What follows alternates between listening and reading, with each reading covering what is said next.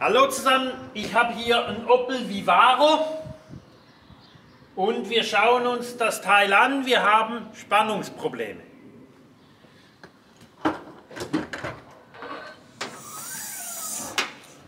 Das ist ein Transcooler, ein Transcooler 8 TK, ein älteres Modell. Das Ding ist schon im Vorgängerauto gelaufen und dieser braucht um die 30 Ampere.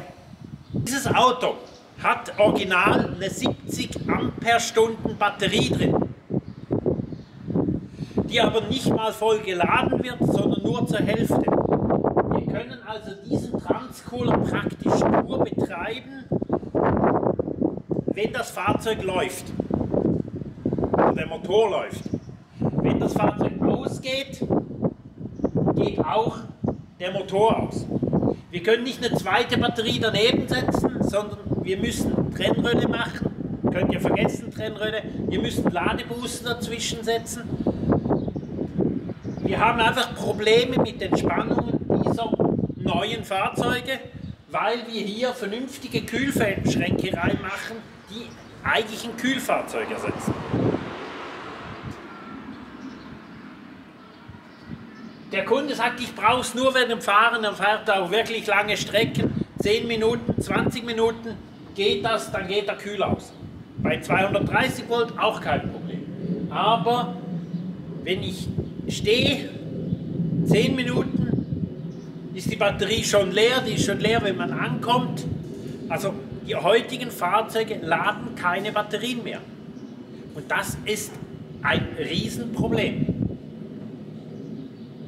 Es wird einfach teuer, sobald wir eine zweite Batterie einsetzen, Ladebooster einsetzen.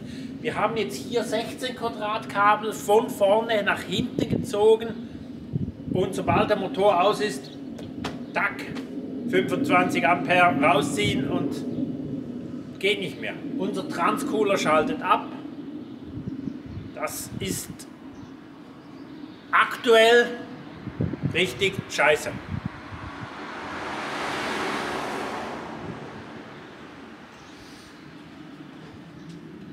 Der Transcooler hat jetzt minus 20 Grad.